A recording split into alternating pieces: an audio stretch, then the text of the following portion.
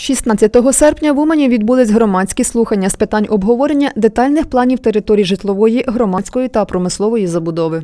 Сьогодні в нас на порядку денному громадських слухань обговорення детальних планів території, обмеженої житловою та громадською забудовою вулицями Герцена, Мазепи, Гонти та Саксаганського, житлової та громадської забудови обмеженої вулицями Визволителів, Заньковецької, Семеренка та територію кладовища Новоумань, промислової забудови обмеженої вулицею Дерев'янка та Вінницьке шосе.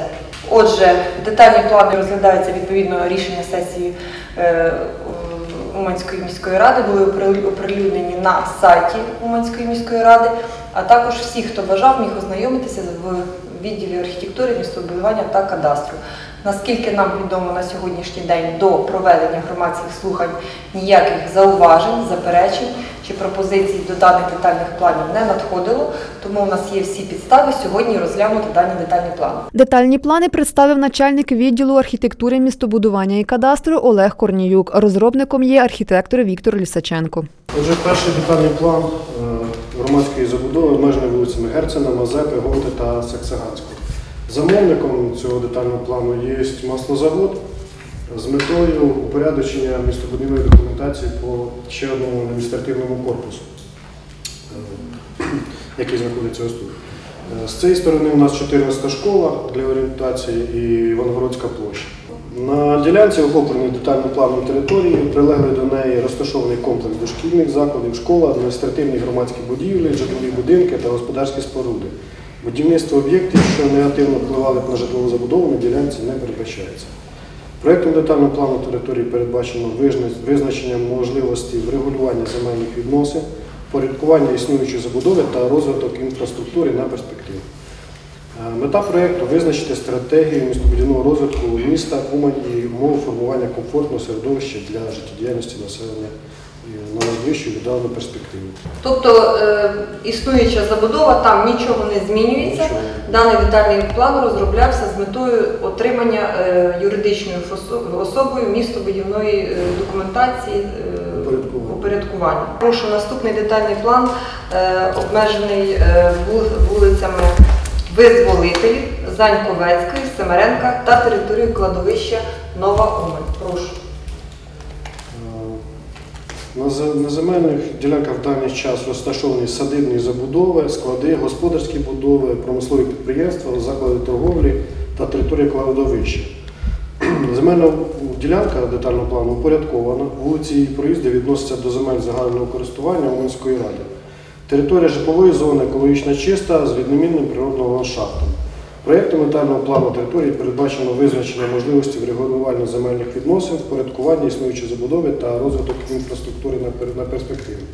Замовником е, виступає Баландін та Мельник як фізичні особи. В якості перспективи розглянуто е, розробка авторинку колишнього. Передбачається тут розміщення громадських та складських приміщень на перспективу, тому що зараз вона пустує. Повністю. В іншому детальний план е, відповідає існуючій забудові і створений, щоб упорядкувати документацію. містобудівної.